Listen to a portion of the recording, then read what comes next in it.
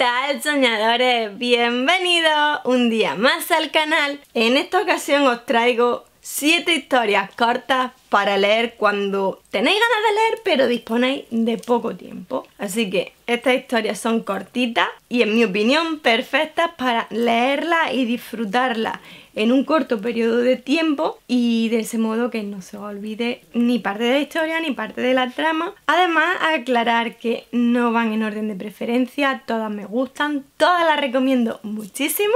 Así que vamos a ello. Además, os dejaré por esta parte de la pantalla la portada de la historia. Algunas están en físico, otras están solo en digital. Pero bueno, os lo dejaré por aquí para que podáis identificarlo con mayor facilidad. Cuando soy más de lo que ves, escrita por Marga Rivera. Una historia que es muy cortita pero muy intensa con un mensaje de superación personal bastante grande y la verdad os la recomiendo muchísimo. Sé que la vais a disfrutar y es súper cortita, es un relato corto que prácticamente en menos de una hora lo habéis leído, pero cuando tenéis el gusanillo y no tenéis el tiempo, yo creo que es una pildorita perfecta. Además, tras la lectura os dejará leyendo, así que como os digo, una lectura que tenéis que leer. Otro relato corto, que también es una pildorita perfecta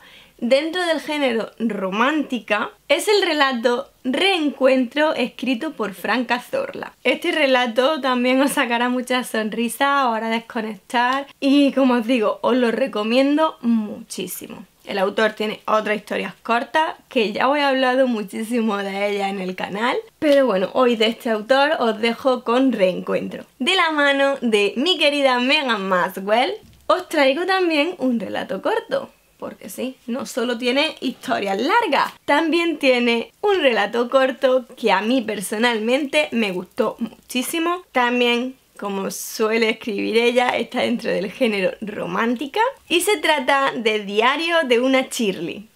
Una historia súper divertida que vais a disfrutar mogollón. De la mano de Jane Austen os traigo Lady Susan, una historia cortita, por supuesto literatura clásica, pero muy disfrutona, con la que si no estáis acostumbrados a leer literatura clásica, os aseguro que os iniciaréis. De la mano de Mercedes R. Cervantes os traigo El destino de Lisa también os he hablado muchísimo de esa historia en este canal. Es una historia que es muy bonita, muy recomendable para todos los públicos y bueno, tiene mensajes entre sus páginas de superación que de verdad merece la pena leerlo y os aseguro que es una historia que se queda bastante impregnada en la piel. Otra historia de la que también os he hablado bastante es Amor Inesperado, escrito por Maru Lior. Es una historia cortita, con la que desconectaréis, también está dentro del género romántica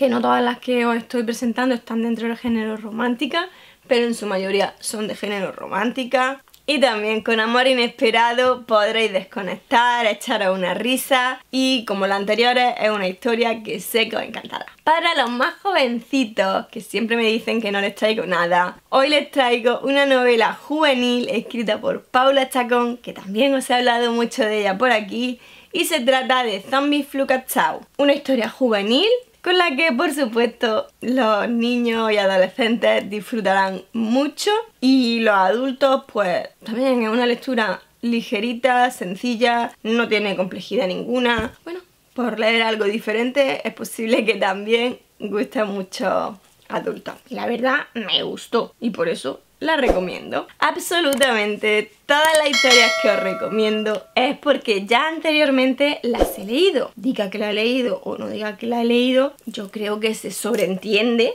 aunque no lo diga, pues que he leído. Así que bueno, Dicho esto, antes de despedirme os traigo un poquito de contenido extra. Una pildorita de contenido extra que no es muy normal en mí, pero bueno, en esta ocasión os recomiendo también dos relatos cortos más que son escritos por mí y se trata de mi séptimo cumpleaños basada en hechos reales y Amor y Mentiras, que este sí está dentro de romántica, séptimo cumpleaños no, pero Amor y Mentira está dentro de Romántica y también es un relatito corto que ambos podéis leer en www.soñosdepapelitinta.com completamente gratis. Ahí los tenéis a vuestra disposición y la verdad me encantaría conocer vuestras opiniones sobre mi relato en los comentarios y estaría también encantada de que si os apetece me digáis vuestra opinión respecto al resto de historias que os he recomendado en este vídeo. Y nada más, espero que os haya gustado, que os suscribáis, que compartáis para que cada día seamos más y también para que si otras personas quieren leer algo y no saben qué leer y además no tienen tiempo, pues le echen un ojo a esta historia que posiblemente disfrutarán mucho con ella y nada más, nos vemos muy muy pronto en el próximo vídeo. ¡Hasta pronto!